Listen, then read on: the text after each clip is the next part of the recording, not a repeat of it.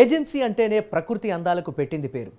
వయ్యారాలు పోతూ ప్రవహించే వాగులు వంకలు రారమ్మని పిలిచే జలపాతాలు కట్టిపడేసే సహజ సిద్ధ అడవులు గిరిజన గూడాలు ప్రకృతి పలకరింపులు కిలకిలా రావాలు.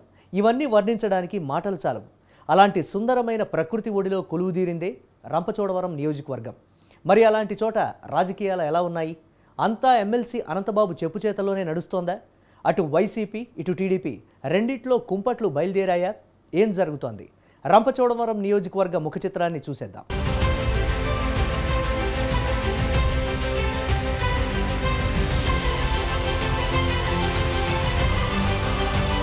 మారేడుమిల్లి ఘాట్ రోడ్డు అందాలు ప్రకృతి రమణీయతకు నెలవైన అడవులు పాపికొండల అద్భుత జలయాత్ర గండిపోచమ్మ ప్రసిద్ధ ఆలయం పర్యాటకులను కట్టిపడేసే మోతుగూడెం సుందర జలపాతాలు ఏపీ జెన్కో జల విద్యుత్ కేంద్రం ఇలా ఎన్నో వింతలు విశేషాలకు రంపచోడవరం పెట్టింది పేరు. ప్రకృతే కాదు ఇక్కడి రాజకీయాలు కూడా చాలా స్పెషల్ అనే చెప్పాలి.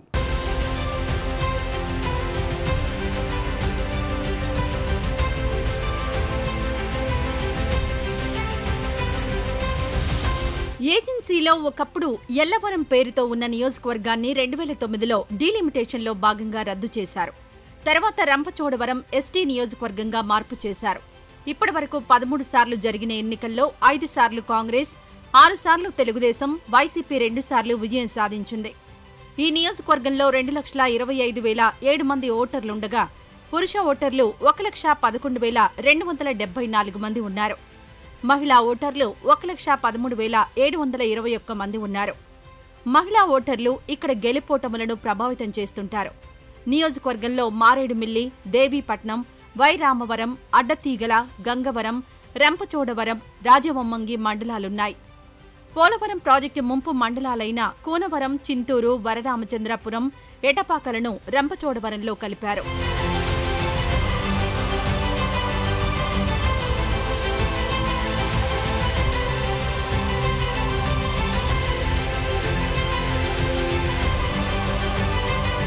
ఎల్లవరం నియోజకవర్గం ఉండగా ఇక్కడి నుంచి టీడీపీ అభ్యర్థి సీతంశెట్టి వెంకటేశ్వరరావు హ్యాట్రిక్ కొట్టారు. మూడుసార్లు విజయం సాధించారు. తర్వాత ఇదే పార్టీకి చెందిన చిన్నం జోగారావు రెండుసార్లు కాంగ్రెస్ పార్టీకి చెందిన చోడి మల్లికార్జున రెండేసి సార్లు విజయం సాధించారు. ఆ తర్వాత అందరూ ఒక్కొక్కసారి గెలిచిన వారే. రెండు వేల తొమ్మిదిలో రంపచోడవరం నియోజకవర్గం ఏర్పడిన తర్వాత మూడుసార్లు ఎన్నికలు జరిగాయి. అప్పుడు కాంగ్రెస్ నుంచి పోటీ చేసిన కె సత్యనారాయణ విజయం సాధించారు. టీడీపీ నుంచి పోటీ చేసిన చిన్నం బాబు రమేష్ పై పదివేల ఎనిమిది వందల మూడు ఓట్ల తేడాతో గెలుపొందారు. రెండు వేల పద్నాలుగులో జరిగిన ఎన్నికల్లో వైసీపీ నుంచి పోటీ చేసిన వి రాజేశ్వరి విజయం సాధించారు. తన సమీప ప్రత్యర్థి టీడీపీ నుంచి పోటీ చేసిన ఎస్ వెంకటేశ్వరరావుపై ఆరు వేల ఆరు వందల డెబ్బై మూడు ఓట్ల తేడాతో గెలుపొందారు. ఇకపోతే రెండు వేల పంతొమ్మిదిలో వైసీపీ నుంచి పోటీ చేసిన నాగులపల్లి ధనలక్ష్మి గెలుపొందారు. తన సమీప ప్రత్యర్థి టీడీపీ నుంచి పోటీ చేసిన వంతల రాజేశ్వరిపై ముప్పై తొమ్మిది వేల నూట ఆరు ఓట్ల తేడాతో గెలుపొందారు.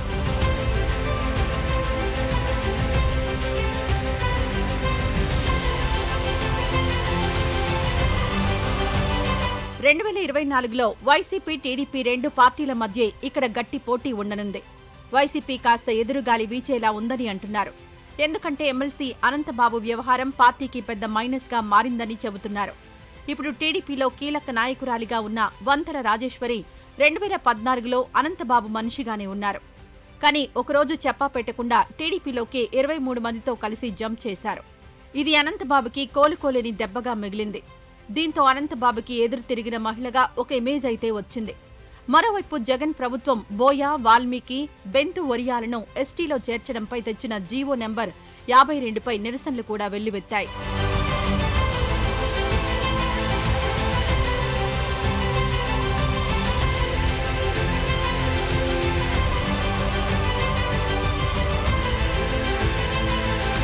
రెండు వేల పద్నాలుగులో తెలుగుదేశం పార్టీలోకి ఇరవై మూడు మంది వైసీపీ ఎమ్మెల్యేలు జంప్ చేశారు. అలా వెళ్ళిన వారిలో వి రాజేశ్వరి ఒకరు. ఆమె రెండు వేల పంతొమ్మిదిలో ఓడిపోయారు. ఇప్పుడు ఎమ్మెల్సీ అనంతబాబుని ఎదిరించిన మహిళగా పేరు పొందారు. ఏజెన్సీలో జరిగే ఎన్నో అరాచకాలకు అనంతబాబే కారణమనే వార్తలు నెట్టింట వైరల్ అవుతున్నాయి రెండు వేల పద్నాలుగులో వైసీపీ నుంచి గెలిచిన వంతల రాజేశ్వరి కండువా మార్చి తెలుగుదేశం పార్టీలోకి వెళ్ళారు. అయితే ఎప్పటినుంచో రంపచోడవరం నియోజకవర్గం తెలుగుదేశానికి కంచుకోటగా ఉంది. అక్కడ ఇంతకు ముందు గెలిచిన మాజీ ఎమ్మెల్యేలు సీతంశెట్టి వెంకటేశ్వరరావు చిన్నం జోగారావులు సీనియర్లుగా ఉన్నారు. ఈవిడ సడన్గా ఆ పార్టీ నుంచి ఈ పార్టీకి రావడంతో వీరి సీటుకి ఎసరొచ్చింది. దీంతో ఈమెకు పార్టీలో ఒక వర్గం నాయకులు సహాయ నిరాకరణ చేయడం మొదలుపెట్టారు. ఇదిలా ఉండగా రెండు వేల పంతొమ్మిదిలో టీడీపీ సీటు దక్కించుకున్న రాజేశ్వరి ఆ ఎన్నికల్లో పరాజయం పాలయ్యారు. దీంతో ఇప్పుడు రెండు వేల ఇరవై నాలుగులో ఆమెకు సీటు రాకుండా తెలుగు తమ్ముళ్ళు పావులు కదిపారు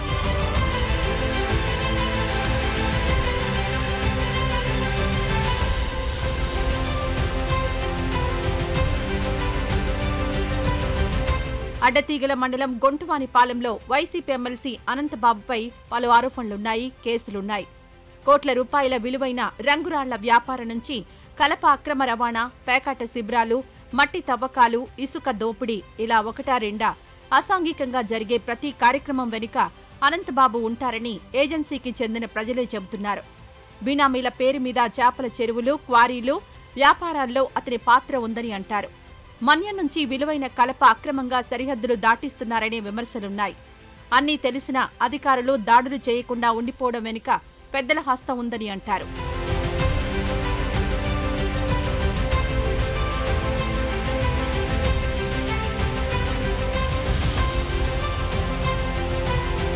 ఇక గంజాయి సాగు అక్రమ రవాణా మన్యంలో జోరుగా నడుస్తోంది. ఏ అక్రమాలు జరిగినా అధికారులు ప్రశ్నించడానికి వీల్లేదని ప్రశ్నించినా ఎదురు తిరిగినా అక్కడి నుంచి బదిలీ కావడం నిమిషాల్లో జరిగిపోతుందని అంటున్నారు. అయితే అనంతబాబు జడ్పీటీసీగా ఉన్న సమయంలో మావోయిస్టులు అతన్ని కిడ్నాప్ చేశారు. తర్వాత ప్రజా కోర్టు నిర్వహించి హెచ్చరించి వదిలేశారు. అడ్డతీగల పోలీస్ స్టేషన్లో మొదట ఆయన రౌడీ షీటర్గా నమోదయ్యాడు. రెండు వేల పంతొమ్మిదిలో వైఎస్సార్ కాంగ్రెస్ పార్టీ అధికారంలోకి రాగానే ఆ రౌడీ షీట్ తీసేశారు.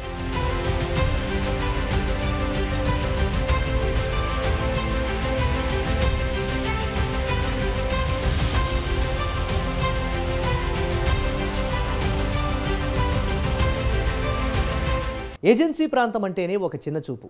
మనం ఏం చేసినా వాళ్ళేమి అనరని బరితెగింపు బ్యూరోక్రసీలో కనిపిస్తూ ఉంటుంది. పోలవరం నిర్వాసితుల సమస్యలు తీరనే లేదు. ప్రాజెక్టు కట్టనే లేదు. కానీ ప్రజలను వెళ్ళగొట్టారనే విమర్శలైతే ఉన్నాయి. పర్యాటకంగా ఎంతో అభివృద్ధి చెందాల్సి ఉన్నా అనుకున్న స్థాయిలో పురోగతి మాత్రం జరగడం లేదు. ఆదివాసీల విలువైన భూములను కార్పొరేట్ సంస్థలకు కట్టబెట్టేందుకు కేంద్ర రాష్ట్ర ప్రభుత్వాలు ప్రయత్నిస్తున్నాయని సిపిఎం నేతలు ఆరోపిస్తూ ఉంటారు. ఇకపోతే పోలవరం నిర్వాసితుల సమస్యలు అలాగే ఉన్నాయి. వారికి తీవ్ర అన్యాయం జరిగింది. పరిహారం పునరావాసం వంటివి అమలు చేయకుండా ప్రాజెక్ట్ నిర్మాణంపై మాత్రమే దృష్టి పెట్టి గిరిజనులు ప్రజలు గ్రామాలను ఖాళీ చేసి పారిపోయేలా అటు టీడీపీ ఇటు వైసీపీ రెండు ప్రభుత్వాలు చేశాయని అంటారు. ఇప్పుడు ప్రాజెక్టు పూర్తి కాలేదు. అదెప్పటికీ అవుతుందో తెలియదు కానీ గిరిజనులను మాత్రం నిర్వాసితులను చేశారనే విమర్శలైతే ఉన్నాయి. అటవీ హక్కుల సవరణ చట్టం తీసుకొచ్చి గిరిజనులను అటవీ ప్రాంతం నుంచి తరిమేసే కుట్రలు జరుగుతున్నాయని అంటున్నారు. జగన్ ప్రభుత్వం ఏర్పడిన తర్వాత నిర్వాసితులకు పది లక్షలు ఇస్తామని భూమి కోల్పోయిన వారికి భూమి ఇస్తామని హామీ ఇచ్చారని నేటికి అవి నెరవేరలేదని ప్రజలు ఆరోపిస్తున్నారు.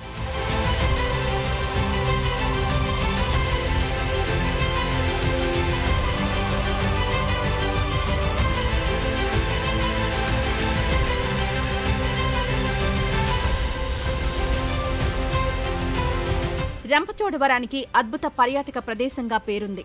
కానీ అరకు మాదిరిగా అభివృద్ధి చెందలేదు. రంపచోడవరం మారేడుమిల్లి ప్రాంతాల్లో సహజసిద్ధ జలపాతాలున్నాయి. ఇక దేవీపట్నంకొస్తే పాపికొండలు పడవ ప్రయాణం చేయవచ్చు. ఏడాది పొడవునా ప్రవహించే వాగులు జలపాతాలు నియోజకవర్గం సొంతం. పచ్చని అడవుల మధ్య పర్యాటక ప్రియుల్ని ఇవి కట్టిపడేస్తూ ఉంటాయి. మన తెలుగు రాష్ట్రాల నుంచే కాకుండా దేశంలోని ఇతర ప్రాంతాల నుంచి ఇక్కడికొస్తుంటారు ముఖ్యంగా రంపచోడవరం వాటర్ ఫాల్స్ ఇంకా దీనికి సమీపంలోని ఐ పోలవరం వాగు వద్దకు పర్యాటకులు అధికంగా వెళ్తుంటారు. పర్యాటక రద్దీకి తగ్గట్టుగా ఇక్కడ కనీస వస్తువులు లేవు. విశ్రాంతి గదులు పార్కు టాయిలెట్లు లేక మహిళలు ఇబ్బందులు పడుతున్నారు. అటు వాగులోకి జలపాతం దగ్గరకు వెళ్ళడానికి మార్గం సరిగ్గా లేక ఇక్కట్లు ఎదురవుతున్నాయి.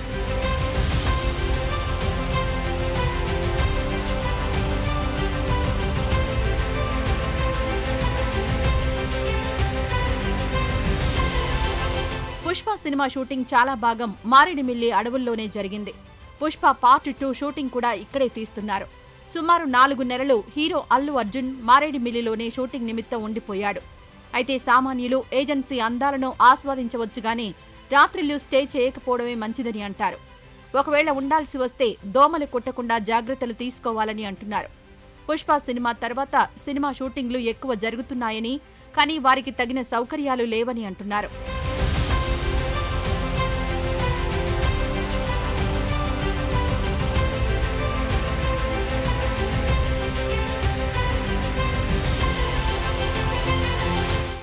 రంపచోడవరం పేరుకే ఏజెన్సీ. కానీ అక్కడి ప్రజలు అలా చూడటం లేదు. నాగరిక ప్రపంచం దగ్గరికి వచ్చేసరికి మనుషుల్లోని లోగుట్టులన్నీ కనిపెడుతున్నారు. ఇంతకు ముందులా మోసపోవడం లేదు. కానీ రాజకీయ నాయకుల దగ్గర మాత్రం అందరిలాగే వీళ్ళు బోల్తా పడుతున్నారు. మరి వచ్చే ఎన్నికల్లోనైనా వీరు సరైన ప్రజాప్రతినిధినే ఎన్నుకుంటారా? ఎన్నికైన ప్రజాప్రతినిధి వీరి నమ్మకం నిలబెడతారా? చూడాలి.